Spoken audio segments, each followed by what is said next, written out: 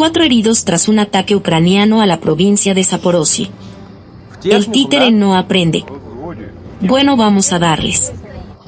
Cuatro personas resultaron heridas este lunes tras un ataque ucraniano contra la ciudad Melitopol, ubicada en la provincia rusa de Zaporozhye, informa TASS, citando a las autoridades locales. Además, resultaron dañados varios edificios, entre ellos un colegio. Los estudiantes fueron evacuados a un lugar seguro, se les proporcionó comida y todo lo necesario, agregaron las autoridades. Poco después, el gobernador local en funciones, Yevgeny Balitsky, precisó que Kiev lanzó seis proyectiles Mars, dos de los cuales fueron derribados.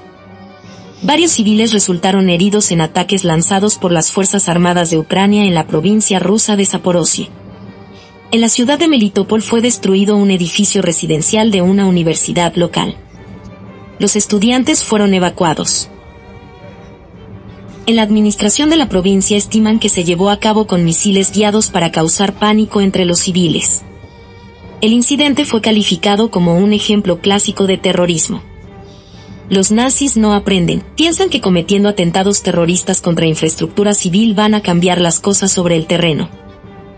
Esto es la desesperación, porque el tiempo corre y ni toda la OTAN han podido vencer a los rusos, tanto así que ya andan con el tema del uranio empobrecido, se olvidan que la Federación tiene uranio enriquecido.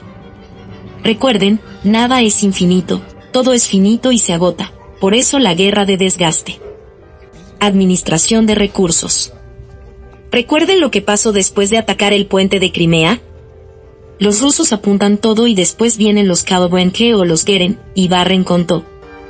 Muy bien mis amigos, hasta aquí las noticias por el momento, en Fausto Medina Informa, seguiremos haciendo periodismo de investigación responsable. Hasta la próxima.